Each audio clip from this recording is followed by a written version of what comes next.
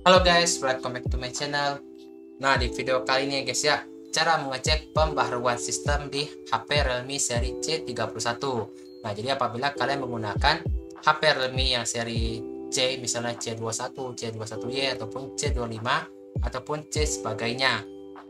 Nah, misalnya apabila tidak ada notifikasi tentang pembaharuan sistem kita, kita sendiri juga bisa mengeceknya secara manual apakah sistem kita harus diupdate atau tidak ya guys ya.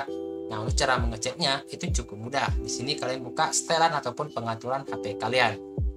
Nah, di bagian setelan sini, ini kalian scroll saja ke bawah.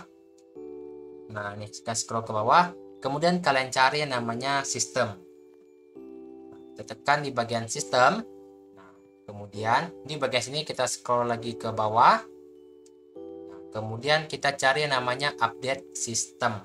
Nah, bisa kalian ini lihat di bagian bawah ini ada yang namanya update system. Kemudian kita tekan. Nah, seperti ini. Kemudian kita tekan di bagian periksa apakah ada update. Nah, maka dia akan memeriksa. Nah, bisa kalian lihat di sini ada sedikit keterangan itu tidak tidak dapat memeriksa update karena kita sudah uh, apa guys ya mengupdate-nya terakhir kalinya saya juga sudah mengupdatekan ponsel ini. Nah, jadi cara untuk mengecek update dan HP kita itu seperti ini guys ya. Oke, semoga kalian paham. Jika ada pertanyaan, silahkan komen di bawah dan sampai jumpa di konten berikutnya. Bye-bye.